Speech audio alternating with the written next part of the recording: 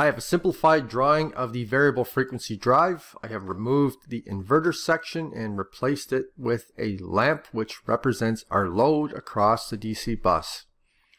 This unit is fed with a 208 volt AC supply and the output or the resulting DC output from that AC supply is 292 volts DC. I have an oscilloscope connected to the three lines that feed the converter section. Let's have a look at the trace. And what you'll notice is we have three waveforms. Each one of those is 120 degrees apart. And if I freeze those waveforms at any given time, so I've frozen the supply, you'll notice that the black one is positive. It's above the zero plane. And the blue and the red are negative. They're below the zero plane. And now I have the red one positive and the blue and black negative. So you'll notice that there's always one positive, two negative, or two negative, one positive. Okay, please keep that in mind. You'll need to understand that when I explain how the diodes rectify the current. Okay, on the output side, I have an oscilloscope connected across the lamp and you can see a nice beautiful red straight line the DC level is the is the measurement from this zero line where my mouse is up to that red line. That's the level. Now, what I'm going to do to really explain this is I will connect the AC, or sorry, channel A to the AC input. And what you'll notice is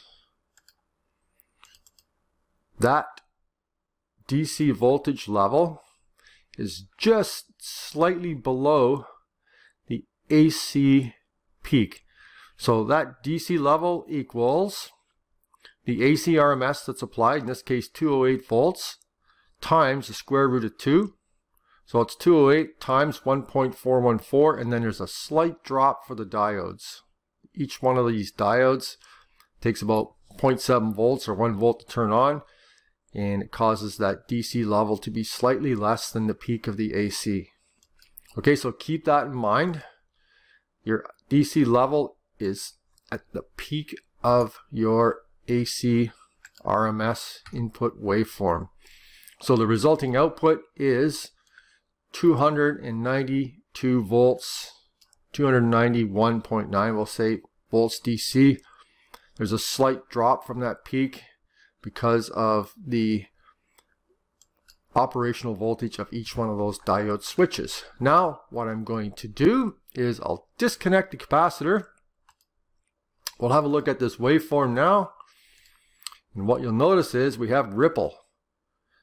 Once we have ripple on the output, then this light should flash a little bit your voltage will drop. Your resulting DC now is just slightly less than 280. So capacitor health does affect the performance of the drive. I'll close that. Going to close the uh, oscilloscope. I'll connect the cap back up. Make sure we're back to normal and you'll see it how it's a nice straight line. Our DC, that's what you want. You want that nice straight DC to be fed into the inverter section. Now, let me explain how the diodes work. This can be a little bit tricky depending on timing. Okay, now, see, or please look at the oscilloscope. The blue waveform and the red are above zero, so they are more positive with respect to the black. Okay, so keep that in mind. So line 1 and line 3 are positive, line 2 is negative. So I'll just slide that out of the way. So let's look at the diodes. So what we're going to do is we're going to draw out the power flow through the load, or what would be supplied to the inverter section. So diode 1 is positive, so the anode is more positive with respect to the cathode, the downstream. So current will flow through this diode. Okay. On the blue one, the blue is positive, so current will flow through D3. And then that current will flow through the commutation choke, through the load, along the bus, and there's only one way that that current can return to the supply, and that is through diode 5. So it will it will conduct through diode 5 back to line 2. Okay, so now I'll try to do another one. So I'll just play and see if I can get a different sequence.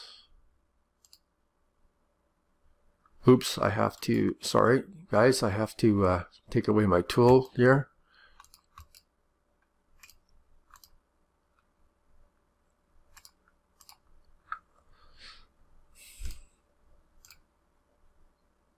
Okay, now we have two negative and one positive. You can see this, the blue is below the zero line, the red is below, and the black is above. So now, which one is conducting? Let's have a look. I'm going to move this over to the right hand side. That's a beautiful thing about this simulation. It's called Multisim, National Instruments Multisim. So now let's have a look. Black is positive. So line 2, alternation is positive. So current will flow through this diode onto the bus. Now I have to move it again. and it's going to go through the load. It's going to come back. And the blue one is negative and the red one is negative. So current will flow through this diode back onto line 3. And it'll flow through this diode back on to line 1. It can never go from where it came from because the other diode is blocking. Okay, so if I move this out of the way, again, if we look at it, black is positive, so this is on, current flows through the bus, through the lamp, comes back on 3, and comes back on 4, which is the red line. So hopefully that wasn't too confusing. Um, you just have to always remember that there are three diodes conducting at any given time. And that's how we have the uh, the the nice small ripple on the on the output. I'll show you that one more time. We'll disconnect this cap.